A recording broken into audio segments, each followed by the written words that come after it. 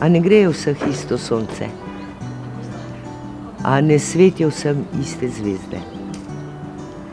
A se nismo vsi rodili goli in nebognjani? A nimamo vsi enake pravice biti srečni? Ja, odgovor je samo da. Torej, za.